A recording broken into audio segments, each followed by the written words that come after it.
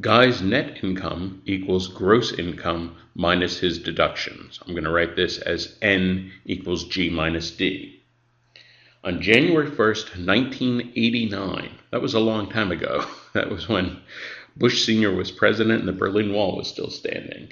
But on January 1st, 1989, both his gross income and his deductions increased. By what percent did the net increase? Well, statement number one tells us that the gross increase in gross income increased by 4%.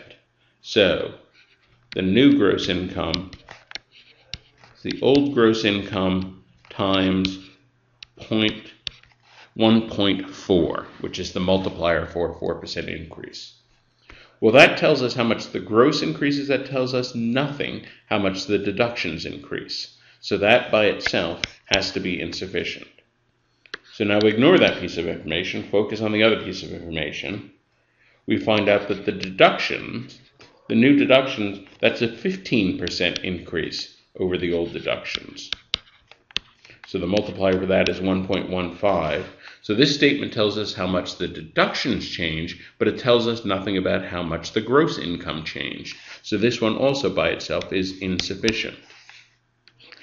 The real crux of this problem is what happens when we put these things together? We know that the old net income was the old gross minus the old deduction. The new net income should be 1.4g minus 1.15d. And the question is, can we figure out anything about this? Well, here I think it might be helpful to think about some numbers. Let's say that G, gross income, is $200,000. Okay?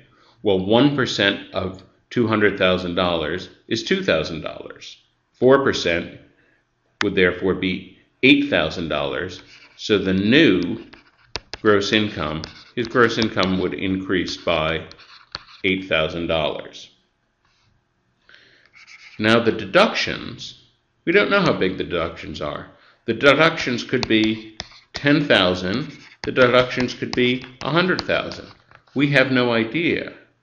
The problem is, because we have no idea of the size, we have no idea how big 15% of that is going to be. And because we have no idea how big 15% is going to be, we have no idea how it's going to compare to this $8,000 increase. So in fact, even when we have both pieces of information, we do not have enough information to answer the question. And as a general rule, when you're adding and subtracting two things that change by a given percent, you don't have enough information to figure out either unless you know their numerical values. So we do not have sufficient information to answer anything here. The combined statements are insufficient, and the answer choice is E.